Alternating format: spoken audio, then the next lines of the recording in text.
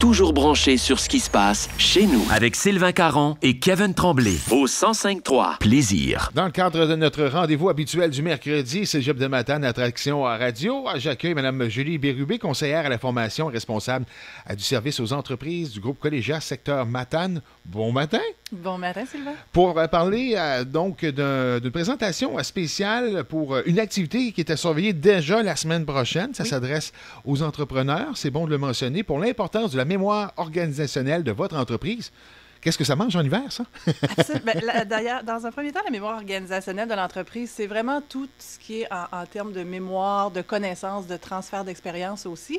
Euh, ce qu'on sait, c'est que dans le monde actuel, les entreprises vivent beaucoup de changements. Euh, on est dans une ère où il y a des, prises à la retraite massives aussi. On a une difficulté de recrutement, entre autres au niveau de la matanie, mais c'est partout, c'est provincial. Donc, la mémoire organisationnelle, c'est une façon de travailler qui permet justement de conserver cette mémoire-là avant les départs. Donc, quand il y a des départs à la Euh, souvent, c'est des, des, euh, dans plusieurs entreprises ou même des organisations, il y a des gens qui ont des postes uniques avec des compétences spécifiques, quand eux quittent avec une vingtaine ou une trentaine d'années de leur bagage, euh, c'est difficile de transmettre tout ce qu'ils ont euh, dans leur tête, de, de, le laisser là.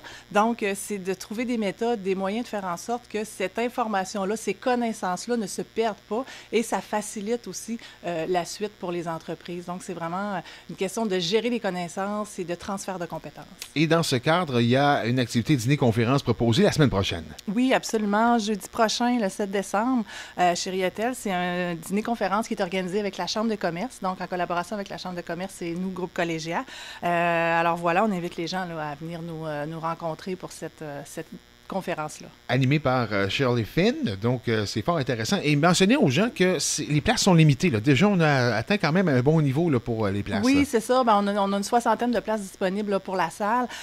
donc, c'est ça, il reste peut-être une vingtaine de places au moment où on se parle. Alors, pour les gens qui veulent s'inscrire, c'est de le faire le plus rapidement possible parce que les billets sortent quand même assez rapidement. On est vraiment content. Oui. Et c'est un sujet vraiment de l'heure. Donc, il y a beaucoup de besoins à ce niveau-là. Alors, je pense qu'on arrive à point. Puis nous, ça fait à peu près deux ans qu'on essaie d'avoir cette conférence-là à Matane. Donc là, on est vraiment content de, pouvoir l'offrir. Et les coûts sont vraiment abordables pour assister au dîner-conférence? Bien, ce sont les coûts habituels des dîners euh, de la Chambre de commerce. Donc 25 pour les membres de la Chambre de commerce et 30 pour les non-membres.